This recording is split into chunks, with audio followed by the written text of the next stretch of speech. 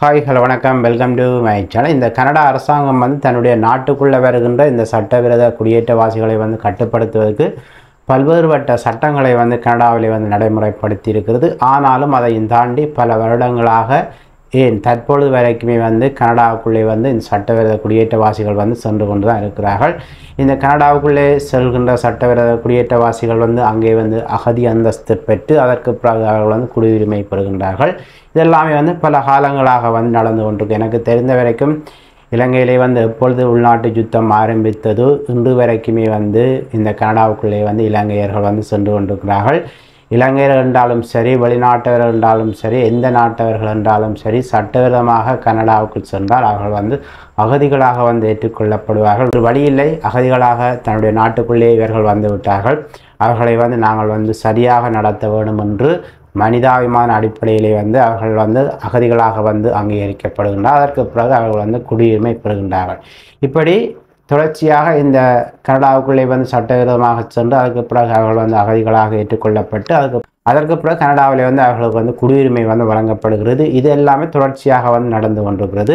ஆனாலும் இந்த கனடாவுக்குள்ளே வந்து இப்படியான மிக கடுமையான சட்டங்கள் வந்து இந்த கனடாவிலே வந்து நடைமுறைப்படுத்தப்படுகிறது அதுவும் குறிப்பாக சட்டவிரோதமாக வந்து கனடாவுக்குள்ளே வந்து நுழைகின்றவர்களுக்கு இப்படியான கடுமையான சட்டங்கள் வந்து இருக்கிறது. ஆனாலும் அதையும் தாண்டி வந்து அதிகப்படியான மக்கள் வந்து தற்பொழுது வரைக்குமே வந்து சென்று கொண்டிருக்கும் அதனால் கனடா அரசாங்கம் வந்து தற்பொழுது வந்து புதிய ஒரு நடவடிக்கையை வந்து எடுத்திருக்கிறது.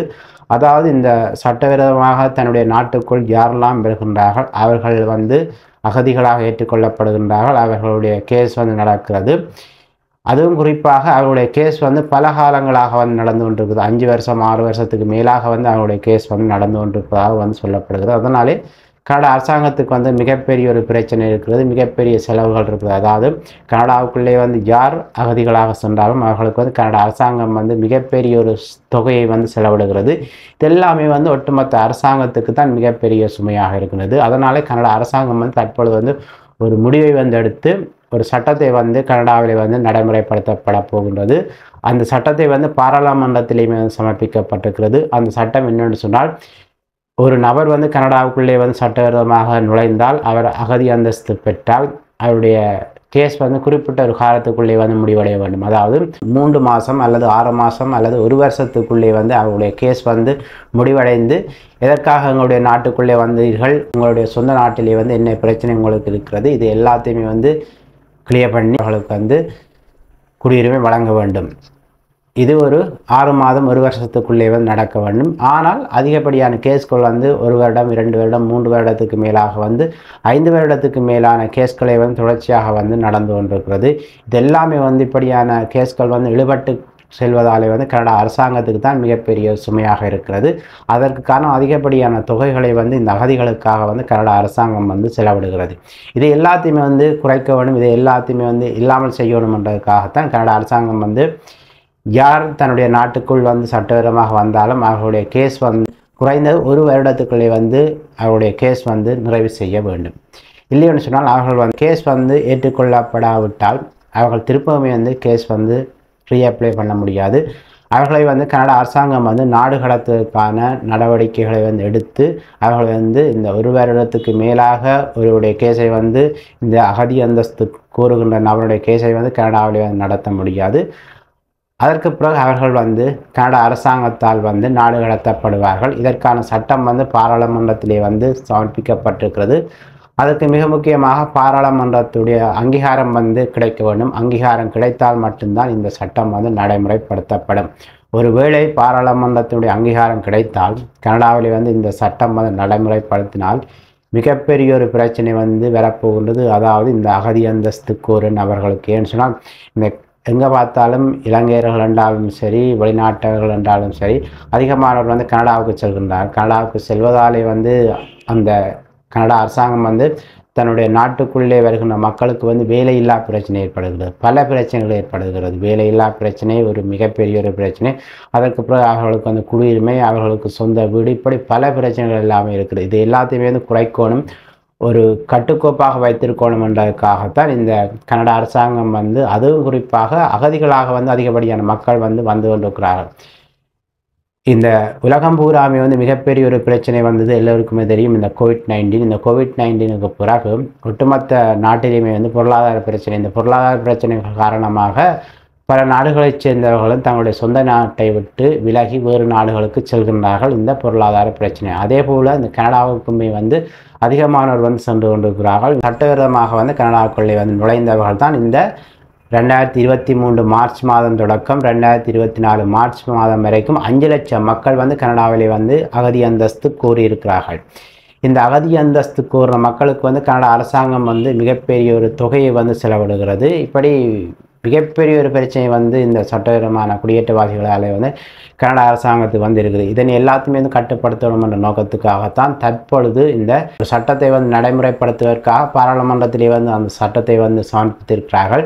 அந்த சட்டம் வந்து ஒருவர் இந்த கனடாவுக்குள்ளே நுழைந்தால் அவருடைய அகதி அந்தஸ்து காலம் வந்து ஒரு வருடம் ஒரு வருடத்துக்குள்ளே அவருடைய கேஸ் வந்து முடிக்க வேண்டும். அவர் ஏன் எங்களுடைய நாட்டுக்கு வந்தால் அவருடைய சொந்த நாட்டிலே வந்து என்ன பிரச்சனை இருக்குது இவர் வந்து கனடாவில் வந்து தங்கலாமா? இல்லைன்னு சொன்னால் அவரை வந்து கனடா அரசாங்கம் வந்து நாடு கடத்துவது. சட்டத்தை வந்து பாராளுமன்றத்திலே வந்து சமர்ப்பித்திருக்கிறார்கள். பாராளுமன்றம் வந்து அனுமதி வழங்கினால் பாராளுமன்றத்துடைய அமைச்சரவை வந்து மிக முக்கியமாக வந்து அனுமதி வழங்க வேண்டும்.